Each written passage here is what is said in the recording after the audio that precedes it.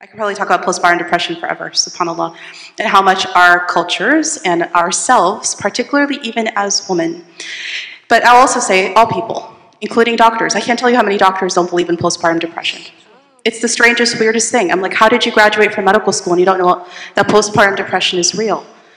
Sometimes it's their own wives as physicians that I'm, they're saying, eh, get over it. What do you mean get over it? Have you not studied that particularly, I'm going to go into a whole spiel now, forgive me, but certain mental health conditions are biologically connected. Postpartum depression is absolutely one of those because it is hormonally based more often than not. Other types, of sometimes in the postpartum depression itself, or other forms of depression and anxiety could also have environmental causes. So if you're living in some really difficult circumstances, think about all kinds of things that kind of really cause you anxiety and difficulty could also cause you postpartum depression after the birth of the child, or now we most likely call it peripartum depression, even within the pregnancy and after it. Or if it's not biological and it's not genetic and it's not environmental, it could be actually cognitive, it could be spiritual, it could be many different things actually.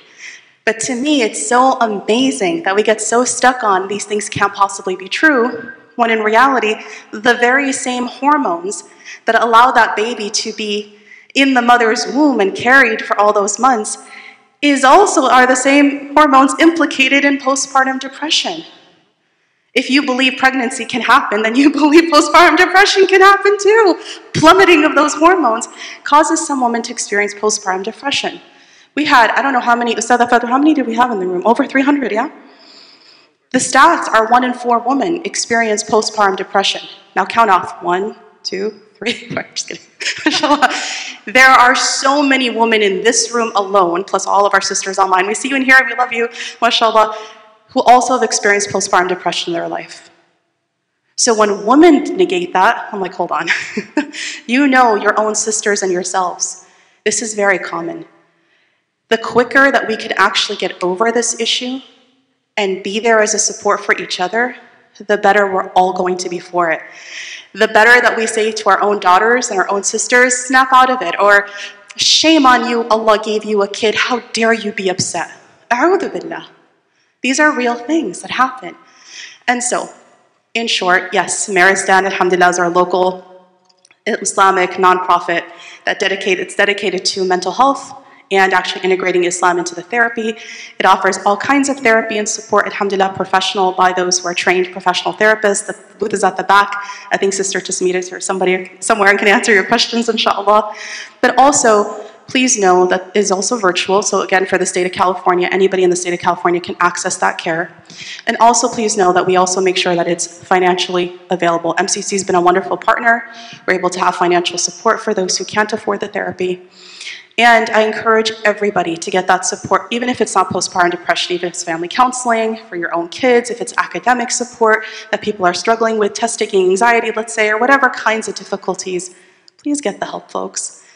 Now back to the sister who's asking, what can I do about the stories related to pregnancy that seems that I was very clear about the story that I told about Sayyidah Amina, the mother of the Prophet ﷺ, what she experienced was a miracle. Are we clear about that? The Prophet ﷺ is entirely a miracle. And so clearly his pregnancy was going to be a miracle too. The fact that she didn't feel the heaviness that a woman feels when carrying a child or the difficulty that comes with it, or the very mere fact that when he was born, he didn't have any of the filth, you know, the, the stuff, the fluids that are on a baby. He didn't even have that when he was born. The whole thing, sallallahu alayhi wasallam, the whole story is a miracle. So clearly that's different than any one of us, right? And yeah, pregnancy's tough, mashallah. And I too wish that our cultures and our communities would stop minimizing the difficulty that actually comes with it. And also the struggles and pains of infertility. There are struggles and pains all throughout, whether having children or not having them. And so, what do we do? We support each other.